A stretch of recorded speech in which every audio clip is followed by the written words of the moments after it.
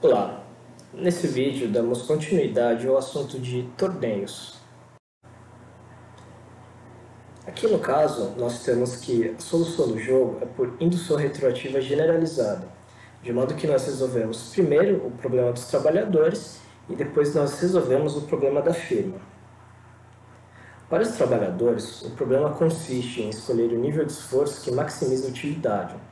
Então, a utilidade esperada dos trabalhadores é igual a WH vezes a probabilidade de obter WH, que é a probabilidade né, de ele ter um produto maior do que o produto do adversário, mais WL vezes a probabilidade de obter salário WL, que é, no caso, igual a probabilidade dele ter uma, um produto menor ou igual que o produto do seu adversário, menos GE, que no caso né, a desutilidade do esforço que o trabalhador I obtém.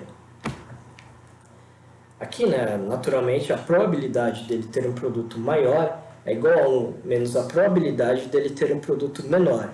Então, nós podemos escrever o problema do trabalhador como sendo maximizar EI é, maior ou igual a zero, né, que maximiza WH menos WL, vezes a probabilidade dele ter uma produção maior do que a do adversário, menos G de EI, a desutilidade do esforço.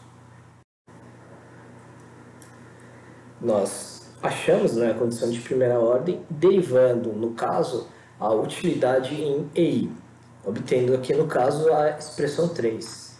Então, é, no caso, né, a derivada parcial da probabilidade em EI vezes WH menos WL é, será igual, no caso, a G' de EI. Ou, em outras palavras, né, o trabalhador escolhe o nível de esforço em que o custo marginal do esforço seja igual ao benefício marginal do esforço, que o benefício marginal, no caso, será igual ao diferencial de salários ponderado pela chance que o trabalhador tem de obter um salário maior. Aqui no caso, né, eu vou fazer um pequeno slide com algumas notas técnicas. É, a probabilidade né, do produto do trabalhador I ser maior do que o produto do trabalhador J pode ser escrito como a probabilidade do choque EI ser maior do que εj estrela mais εj menos EI. Então, εi e εj são variáveis aleatórias. E J e EI, no caso, não são sorteados né, de nenhuma distribuição de probabilidade. Então, nós vamos olhar a distribuição de probabilidade da variável aleatória. E vamos colocar também essas probabilidades em termos de FDP e de FDA, que está representado aqui na equação 5.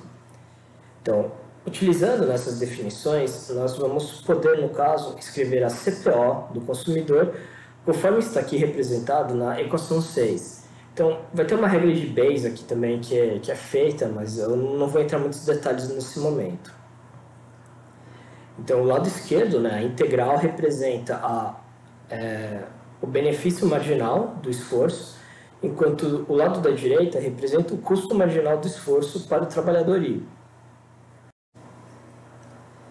Aqui uma coisa importante é que o nível de esforço pode depender da distribuição que os choques eles vêm. Então, se nós supormos que os dois choques, epsilon e epsilon 2, vêm da mesma distribuição, então o equilíbrio será simétrico e o nível de esforço dos dois jogadores vai ser simétrico. E a CPO, no caso, vai tomar a expressão aqui da equação 7. Nós não conseguimos falar qual será o nível de esforço induzido simplesmente a partir da expressão anterior, da expressão 7 anterior. Mas nós temos duas conclusões.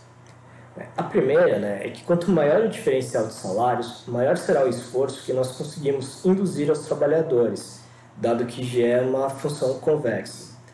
Então, se nós temos um diferencial de salário muito baixo, então WH muito próximo de WL, nós temos que o benefício do esforço ele será baixo. Então, para os trabalhadores, não valerá tanto assim a, o esforço, eles terão um nível de esforço razoavelmente baixo.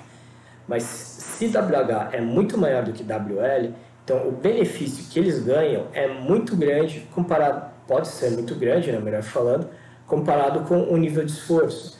Então, quanto maior, no caso, o, o diferencial de salários WH menos WL, maior será o nível de esforço que nós conseguimos induzir.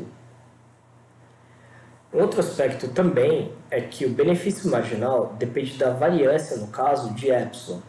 Então, quanto maior a variância de epsilon, maior a chance de yi ser determinado por uma questão de sorte.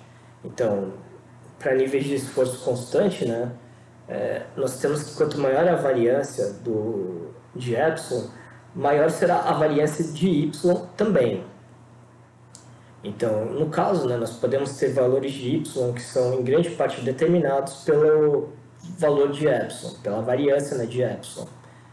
É, pois né, os valores de epsilon serão sorteados de um conjunto mais amplo de valores, de forma com mais probabilidade. Né?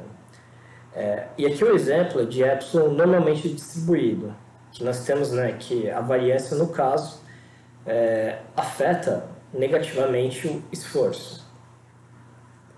Então, quanto maior a variância, menor o esforço induzido. Vamos continuar o assunto no próximo vídeo.